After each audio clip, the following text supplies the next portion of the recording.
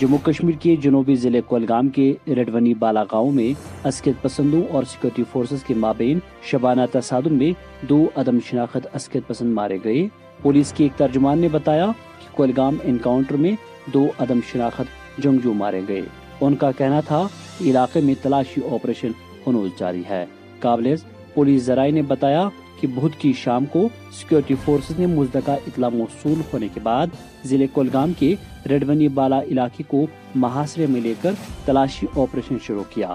انہوں نے کہا، جو ہی حفاظتی عملے نے مشتبہ مقام کی طرف پیش قدمی شروع کی، تو وہاں پر موجود میلیٹنٹوں نے فورسز پر اندھادن فائرنگ شروع کر دی۔ پولیس ذرائع کے مطابق سیکیورٹی فورسز نے بھی پوزیشن سنبھال کر جوابی کاروائی کا آغاز کیا۔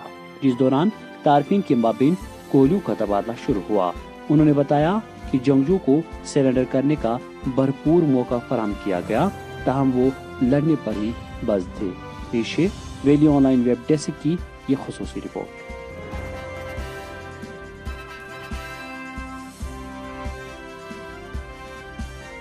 مزید منفرد اور دلچسپ ویڈیوز کے لیے ہماری یوٹیوب چینل ضرور سبسکرائب کریں۔